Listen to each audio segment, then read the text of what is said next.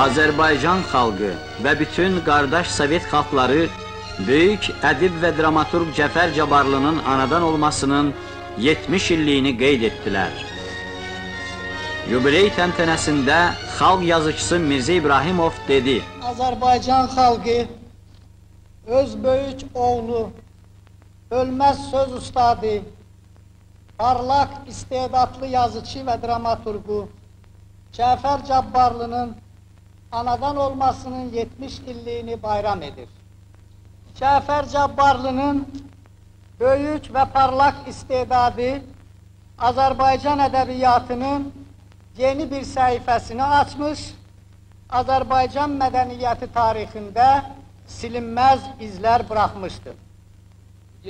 SSR Yazıçılar İttifaqı İdarə Heyətinin katibi Afanasi Salinski, Azərbaycan Sovet dramaturgiyasının banisi Cəfər Cabbarlının zəngin ədəbi irsindən danışdı.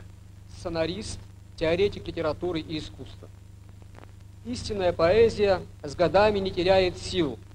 С годами пьесы Джабарлы становятся все восприятие читателя и зрителя. Azərbaycanın xalq şairi Süleyman Rüstəm Sən varlığını alnı açıq millətə verdin. Söz incini bu səhnəyə, bu sənətə verdin.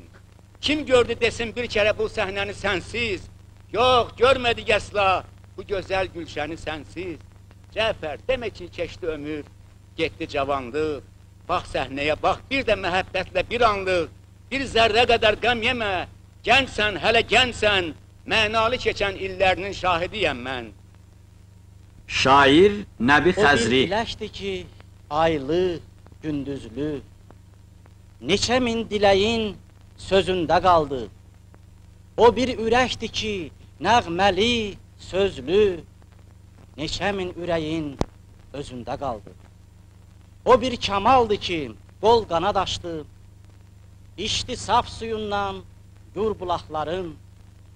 O bir qartaldı ki, bir dağdan uçdu, qondu zirvəsinə min min dağların. O bir ummandı ki, coşub daşardı, çağlardı ilhamdan çay gələn kimi. O bir insandı ki, arzusu vardı, sevildi, sevili, sevilən kimi.